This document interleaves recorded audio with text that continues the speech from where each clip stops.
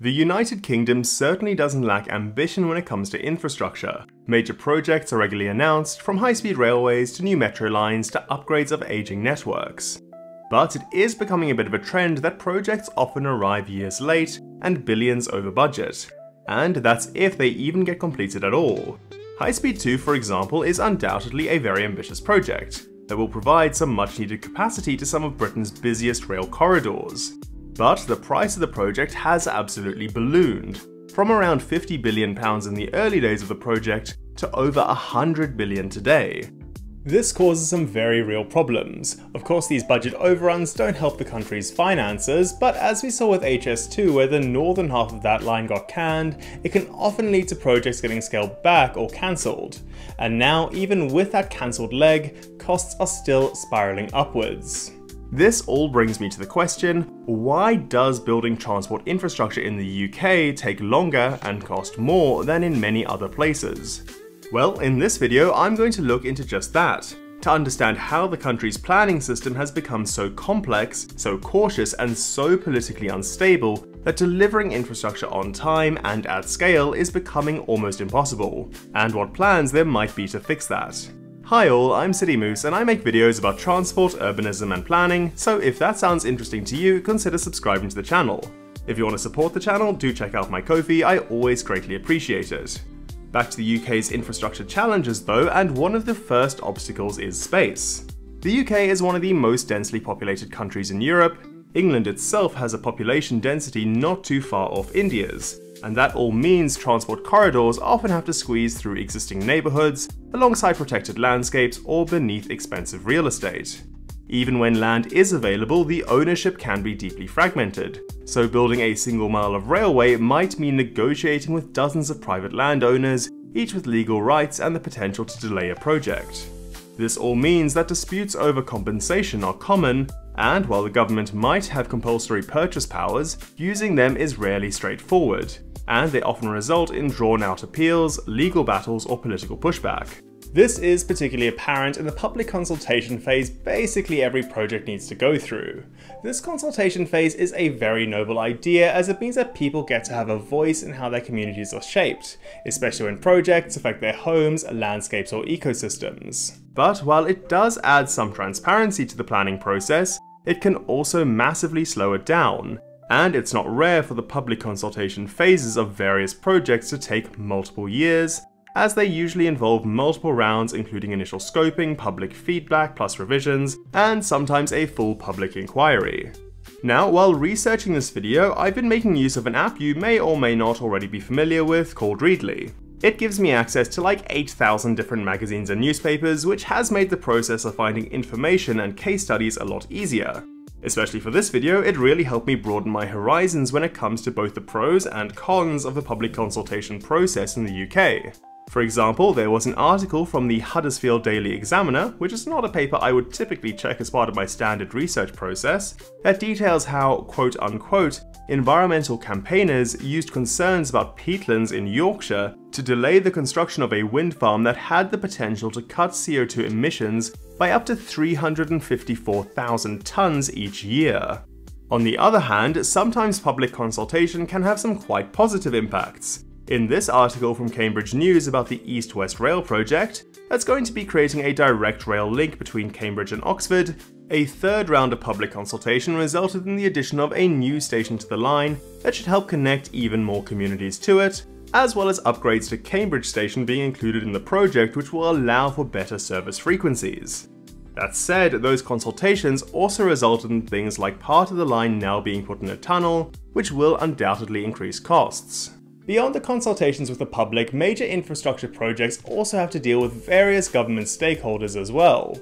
These can be councils, national agencies, regulators and more. Again, we can see why there's good reason for this. If a project puts an important ecosystem at risk, we do probably want an environmental agency to let us know.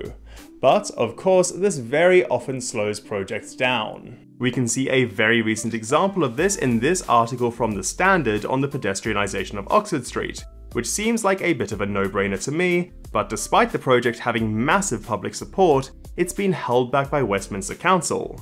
You can also have situations where these various organizations aren't exactly aligned which can cause even more issues. With Readly, I'm able to go back and check out old issues of various publications, like this article from Rail magazine from over a decade ago, where planning permission was granted to an apartment development, even though it was on land that was earmarked for the route of HS2. Now, the existence of various stakeholders is hardly a UK specific issue, but much like with the public consultations, some say there are too many of them and they are often given too much power. In fact, that is something the current government is actively targeting with upcoming planning reforms. The Housing Secretary is hoping to streamline the planning process by allowing local authority planning officers the ability to rubber stamp development proposals. This will be based on having a set of locally agreed plans and regulations that, as long as they are complied with, the proposals won't have to deal with getting approvals from countless council committees. For the time being, these changes, if they go through, will mostly be focused on the development of housing, which is a good thing in its own way, but as part of a broader package of reforms to the planning system, well, the government is hoping to halve the amount of time major infrastructure projects, like railways for example, spend in the statutory pre-consultation period, from the current average of two years to just one. If they do manage to do this, it should hopefully help get projects done faster and cheaper, but we will have to wait and see if that actually happens. But even without these various authorities and regulators, the nature of Britain's politics also creates another risk, through political instability. Because these infrastructure projects can take so long, they often span multiple government terms, and these governments can sometimes disagree on infrastructure priorities.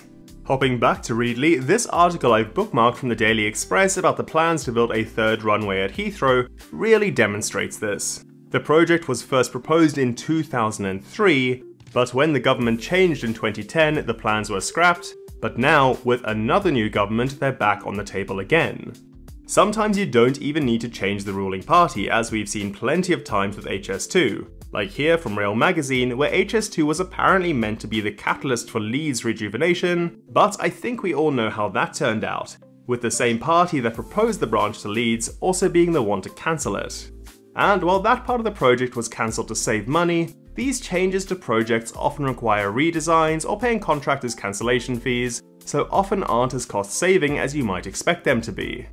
The issue with changing government priorities is not an easy one to fix, the UK is a democracy after all and government changes will happen, but I do think if projects generally got faster and cheaper, well, one, they would run over fewer government terms which would reduce the opportunities for them to get cancelled, but two, they would also be more politically popular, which would also help keep them alive. Beyond that, it's really been this issue of Rail magazine I read the other day that got me thinking about what they call the gold plating of rail projects in the UK. I think from a political standpoint, governments want their new projects to be shiny and fancy, but this excess can often make these projects more expensive and time consuming than they need to be. Coming back to HS2 for an example, this project does seem to have a lot of examples of escalating costs. The article in Rail magazine specifically calls out the decision to build the line for a top speed of 400 km an hour, which is over 100 km an hour more than the international norm, as a top reason for the project's high cost. I mean, yeah, it would be cool if it went that quickly, but it really isn't necessary to have such high speeds to unlock the benefits of the project, which have always been more about capacity anyway. On top of all of this, there are these sometimes quite excessive safety margins projects in the UK need to accommodate. Now, of course, safety is very important, but at times the safety standards in UK projects often exceed those seen in other countries, where their lack of such standards doesn't seem to be causing them all that much of a problem. The Channel Tunnel is kind of notorious for its very intense safety requirements. I recently did a video on the plans for the tunnel to be used to create new international routes from London to places like Switzerland, but one of the things holding them back from doing that, as we can see here in Rail Express magazine, are the incredibly strict safety requirements in the tunnel. The final point I'll make about planning in the UK is around standardisation. If we compare the approach the UK takes with its infrastructure to many countries in mainland Europe, we'll see that a lot of other countries take a more standardised approach. This article from MoneyWeek magazine looks at just this, and how, by taking a modular approach to its stations, the Madrid Metro was able to be built for quote, half the cost and twice the speed of industry averages. This is because by taking this modular approach, they were able to achieve an economy of scale, where they could reuse repetitive structures to keep the construction simple. In the UK, by contrast, it seems each new project needs to reinvent the wheel. So ultimately, I don't think there's one key issue you can single out for why the UK has been struggling so much to build infrastructure in recent years. Instead, it's a mixture of a number of failings in the planning system, including innate geographical ones like the fact that the UK is one of the most densely populated countries in Europe, policy ones that result in very drawn out consultation phases with various interest groups, regulators, and local communities that often see project plans rewritten multiple times, as well as political ones that see projects started by one government cancelled or changed by the next. And to top that all off, the lack of standardization creates a lot of redundant work that just slows the whole thing down. Thankfully, it looks like the British government is aware of this and is trying to implement a series of reforms to the planning system. But only time will tell if these will be enough and whether they will actually address all of the issues. In my view, it is very important that they do. Britain's population is growing fast, and the country is going to need its infrastructure to keep up. And that's only going to be able to happen if the pace of infrastructure construction increases significantly. Now, throughout this video, I found that using Readly has given me access to a huge variety of magazines and newspapers that have greatly helped me do my research for it. The app has let me access over 8,000 different publications, some of which are infrastructure related, but really do cover all sorts of topics. And personally, I found it really useful to be able to go back and look at older issues of these publications, one, just because it's interesting, but it was also a great way to compare how infrastructure projects have worked in the past compared to now. If you want to give Readly a try, they are currently offering a 2-month free trial. You can scan this QR code if you want to check it out. Otherwise, I'll just put a link at the top of this video's description. Also, if you enjoyed the video and want to see more like it, consider giving it a like and subscribing to the channel. And if you want to support the channel, check out my Ko-fi, it is always greatly appreciated. With that all said, I'm Kyle, aka City Moose, and as always, thanks for watching.